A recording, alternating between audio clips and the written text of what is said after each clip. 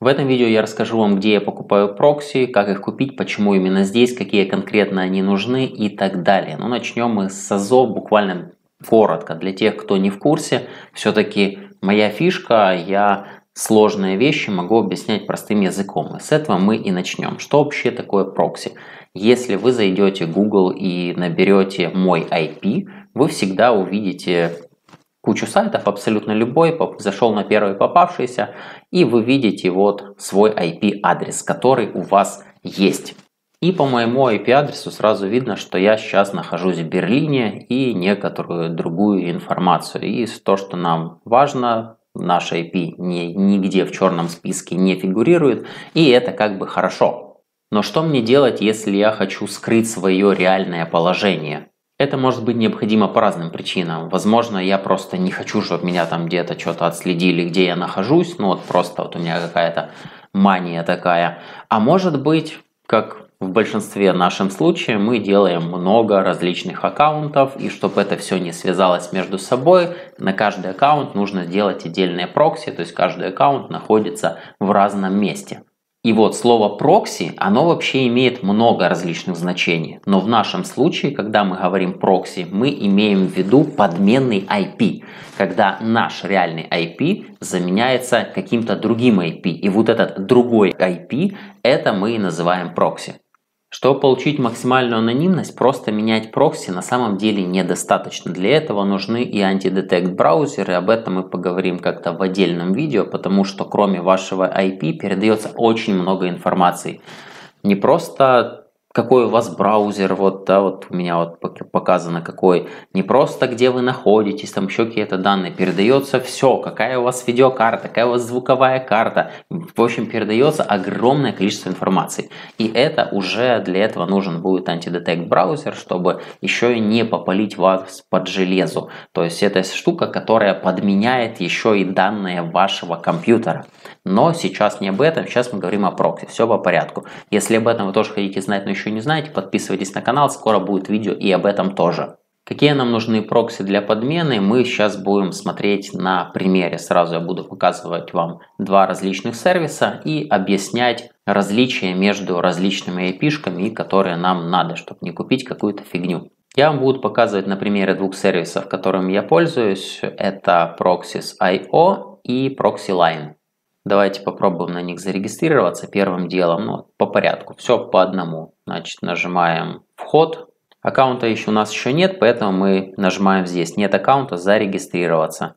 Вводим электронную почту и, в принципе, это не обязательно. И все. Все остальное, все доступы вам придет на эту почту. Ввели почту, нажали зарегистрироваться, все остальное на почте и все, вы уже здесь внутри. Proxy Line, здесь кнопочка регистрация. Вводим наш email, нажимаем, что я не робот, нажимаем регистрация, тоже все доступы придут на почту. Максимально просто и дружелюбно. Начнем с Proxys.io. Когда вы уже внутри, вы нажимаете «Купить», вот здесь сверху, и выбираете нужное вам прокси. Что вам надо, я вам сейчас объясню. Первое, самое основное, часто спрашивают, а можно вот купить, каким надо, IPv4 или IPv6? Когда говоришь, нужны IPv4, спрашивают, а что, IPv6 не пойдет? Они просто тупо дешевле. В чем идея? Изначально вот любой сайт, который вы открываете, вот куда бы вы ни ходили, везде есть IP-адрес. Это определенный набор чисел. Вот я взял примеры, вот определенный набор чисел.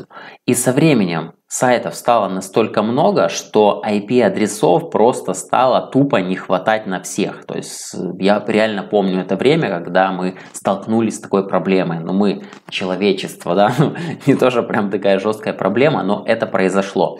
И IP-адресов не хватало. И вот тогда изобрели вот эти самые следующую версию IP, IPv6, их просто до хрена. То есть таких IP просто как грязи. Они стоят намного дешевле. Но переходной период с IPv4 на IPv6 все еще не завершился. И большое подавляющее количество сайтов, большинство сайтов просто еще не поддерживают IPv6. То есть если вы возьмете их, в одно куда-то вы там сможете зайти, куда-то не сможете. Поэтому нам нужны именно IPv4. Следующий вопрос это нужны индивидуальные или расшаренные. Тоже хороший вопрос, и он вытекает ровно с той же логики, с которой вытекал первый вопрос, с точки зрения экономии. Потому что расшаренные прокси стоят дешевле, чем индивидуальные. Индивидуальный прокси это когда его дают конкретно вам в руки, то есть вы его арендуете. Да, вот это слово купить, это просто так выражается, купить. На самом деле вы его арендуете на какое-то определенное количество времени этот прокси мог до вас быть уже в сотнях рук, и скорее всего так и было. Вот это единственный минус, что мы не знаем, что делали с этими прокси предыдущие владельцы. Поэтому иногда есть вероятность попасть в прокси, которые уже в черном списке или еще чего-то такое, но везде есть поддержка, то есть вы написали так и так, такая-то лажа, поменяйте мне прокси, вам его поменяли. Но это индивидуальный, это есть определенная лажа в целом, я объяснил, но в целом IP находится все равно в данный конкретный отрезок времени только у вас. Расшаренные IP – это когда один и тот же IP в один и тот же момент времени находится у разных людей. То есть, допустим, три человека пользуются одним IP, и это не есть хорошо. Хотя в некоторых случаях не критично, но я таким не балуюсь. Следующие вопросы уже обычно не задают по поводу динамического IP, потому что он дороже, особенно если IPv6, то в принципе понятно, что он не подходит. Динамический IP это когда вы покупаете, вам выдается не конкретный IP, а вам выдается адрес порта, и на этот адрес порта все время IP меняется. В нашем случае это не надо. Новый IP на каждый запрос, на каждую рекапчу и так далее. Также есть отдельная тема с мобильными проксиями. Это тоже тема вообще отдельного видео. И далеко не всем это надо, поэтому в этом видео я мобильные прокси не трогаю. Это совсем-совсем отдельная тема. Когда-нибудь до них тоже дойдем. Вот я на реальном примере показал вам разницу. Теперь смотрите, значит, нажали купить, выбираем тип прокси. Вот здесь как раз эти прокси, которые здесь и написаны. Нам нужно индивидуальный IP версии 4. Выбрали. Дальше мы выбираем страну. Здесь удобно написано, сколько в данный момент есть прокси каждой конкретной страны. Вот здесь уже, в принципе, вроде как без разницы, какой страны брать, но в зависимости от того, что вы хотите делать. Потому что в каждой стране свои законы, и в каждой стране где-то что-то забанено, куда-то заходить нельзя, еще какие-то нюансы, либо просто тупо ваши предпочтения. Поэтому страну выбирайте в зависимости от того, что вы хотите делать. То есть, к примеру, если вы хотите заниматься криптой, то, пожалуй, вряд ли есть смысл брать США, потому что она там большей части просто там все под запретом, нельзя гражданам США, поэтому ее лучше не брать. Но есть еще один момент. Желательно брать IP, который географически находится недалеко от вас. Ну, как бы так сказать, не на другой стороне планеты. Потому что когда вы делаете запрос, вот вы мышкой кликнули, системе нужно облететь пол планеты на сервер, и потом этому сигналу нужно вернуться обратно. То есть у вас просто тупо э, они будут долго работать. То есть то, что находится реально далеко те страны, просто тупо будут долго работать. Это второй вариант. Ну, еще один момент – это стоимость. То есть я, к примеру, выбираю Бразилию, смотрите, 2,7 доллара за штучку в месяц.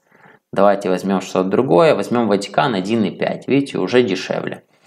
И вот таким вот образом можно выбирать разные страны, которые вас подходят, сколько есть в данный момент, видите, свободных прокси, и вы просто выбираете, что вам необходимо. Вот, к примеру, возьмем Украину, целых 200 прокси есть, прикольно, они появились. Выбираем период. Здесь можно его не менять, мы это сможем поменять просто на следующем шаге. Здесь нам, в принципе, понятно, что с ценой. Как касательно сервера для некоторых IPv4, разницы никакой, я вот реально не догоняю, зачем они сделали, просто тут дороже, там тут еще дороже, но по факту это все одно и то же, то есть вот 1,9 доллара. Если мы берем от 10 прокси, нажимаю 10 кликов где-то в свободном месте, и мы получаем цену уже 1,3 доллара – за штучку. То есть, если мы берем 10 прокси, они нам обойдутся всего лишь в 1,3 доллара за штуку, то есть 13,3 бакса. Если бы мы брали по одному, то он бы стоил бы 1,9 долларов, что как бы значительно дороже. Чтобы его заказать, мы нажимаем «Оплатить». И вот здесь вы уже можете еще раз то, что говорил, более подробно менять. То есть здесь можно менять количество прокси, там, на какое вам надо. Сразу вот цена будет пересчитываться. Чем больше прокси, тем это все дело дешевле. И также период в днях тоже все это дело можно менять. Но оплачивать каждый конкретный прокси просто там с карты или еще откуда, это неудобно. Удобнее сразу положить деньги на счет. Как видите, в моем случае есть уже деньги на счету. Для этого мы... Ну, потому что, когда вы будете через что-то оплачивать, вы все равно будете оплачивать комиссию. И за каждый прокси каждый раз оплачивать комиссию, когда в большинстве случаев вы будете его каждый месяц продлевать. Ну, редко, когда вам прокси нужно сейчас, и через месяц он уже не надо. Ну, всякое, конечно, бывает. Любом случае, удобнее пополнить сразу. Для этого мы нажимаем кнопку «Пополнить». Я показываю пополнение именно скрипты. Не скрипты, а с криптовалюты. Если кто почему-то будет оплачивать с карты, то там, в принципе, показывать нечего. Это везде все одинаковое дело. Заставите галочку, что вы согласны. Видите, я сразу нажал «Пополнить», что просто баланс пополнить. Потом я выбираю USDT TRC20 в данном случае. Выбираем количество, сколько вы хотите пополнить, на какую сумму. Нажимаю «Перейти к оплате». Переход на сайт платежной системы. Ждем буквально пару секунд. Выбираем, в чем мы хотим заплатить ERC20, большая комиссия будет. Он говорит без комиссии, но имеется в виду, что типа сервис не возьмет комиссии. Но чтобы вам оплатить э, с биржи либо с кошелька, комиссия все равно будет. Поэтому вот ERC20, самые низкие комиссии, там доллар буквально. Нажимаем «Далее». Говорим, что видим, что да, все правильно, выбрали то, что хотели, TRC20, USDT, нажимаем «Подтвердить». И вот нам дали адрес, на который надо сделать оплату. Сумму ее просто можно скопировать и адрес для перевода тоже можно скопировать. Когда вы оплатите, ваши деньги окажутся у вас на счету. Вас никуда не перекинет, то есть это у вас так и будет светиться, то есть можно долго ждать. Просто возвращаетесь обратно. И деньги окажутся просто у вас на счету. И дальше, когда вы будете оформлять какой-то заказ, сейчас давайте что-нибудь выберем.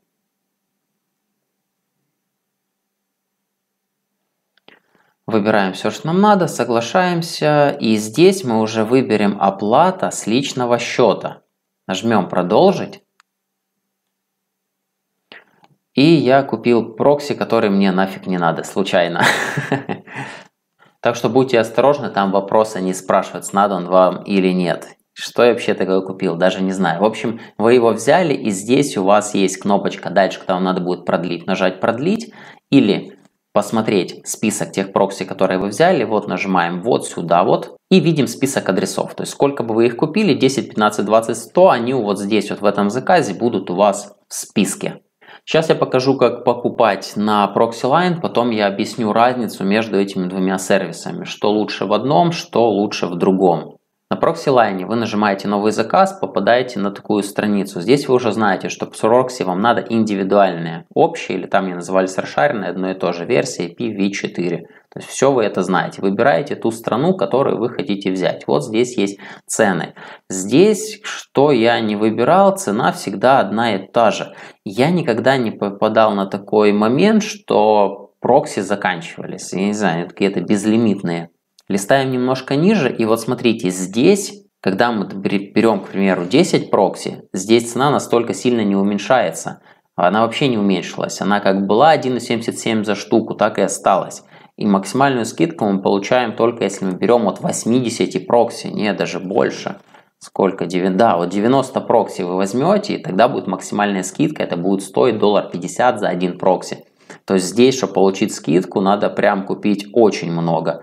Ну, либо, опять же, там какое-то количество, небольшие скидки, 20, видите, скидки нет, 1,77 оно так и стоило. 30, он пошла там скидка буквально какая-то 3 цента на одном прокси, то есть разница довольно здесь незначительная. Также можно купить тут не только минимум на 30 дней, вы можете взять на, вообще на 5 дней, но тогда цена будет в районе 1 доллара, поэтому как бы 1,77 на 30 дней, либо там почти доллар ну, как бы, ну, это такое себе. По крайней мере, такая возможность есть.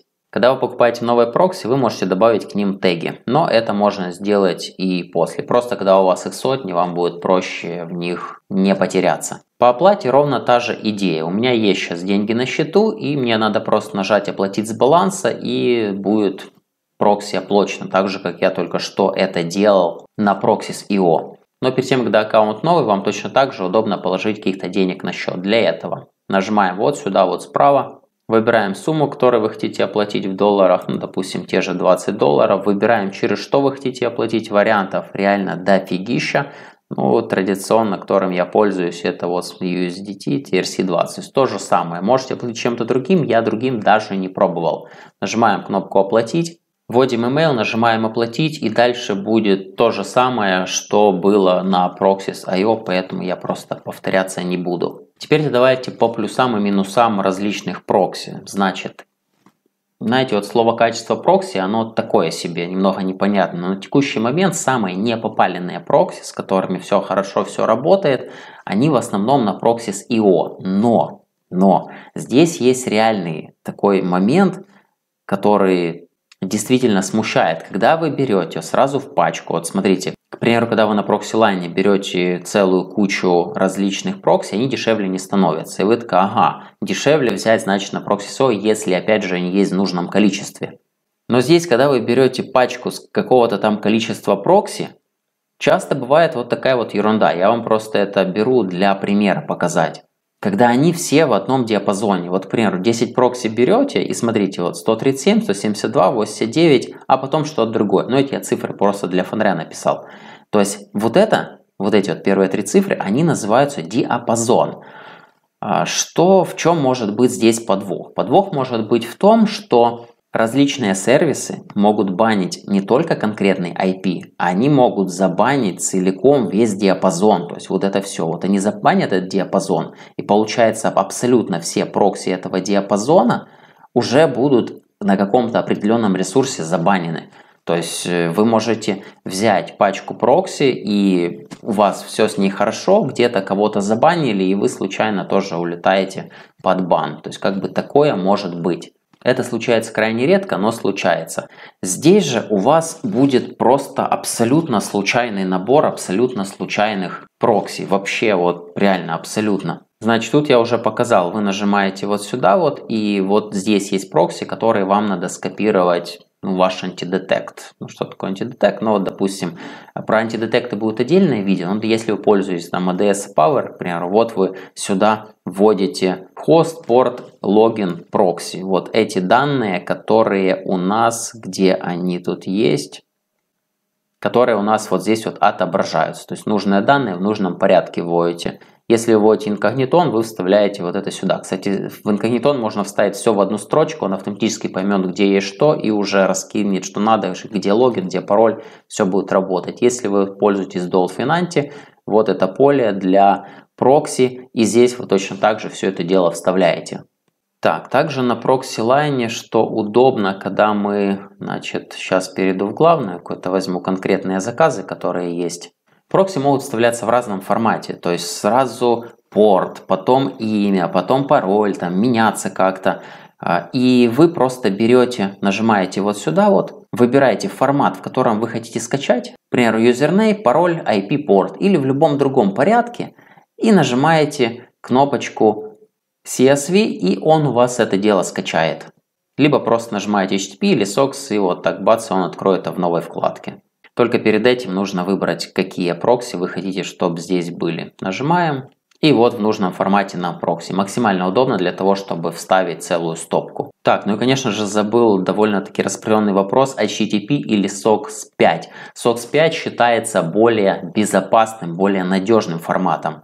Поэтому можете спокойно использовать его, но HTTP просто более распространен, поэтому большинство просто использует HTTP и вообще никак не заморачивается по этому поводу. В большинстве случаев все равно не угадаешь, из-за чего произошел бан, поэтому, э, ну вот, какой-то объективной связи там забанили из-за того, что там пользовался HTTP или SOX 5, я не обнаружил. Но SOX 5 является более современным форматом и он является более безопасным.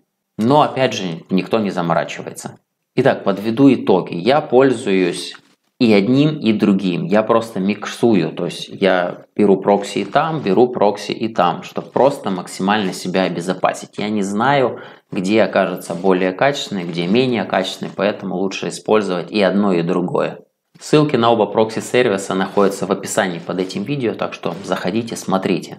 И подписывайтесь на меня в Телеграме, потому что все самое интересное находится здесь. Видео я снимаю редко, а здесь я бываю намного чаще, абсолютно живой канал. И при этом, при этом просто минимум постов. То есть я не пишу чего-то ради того, чтобы писать видео. 4 дня вообще ни одного поста не было.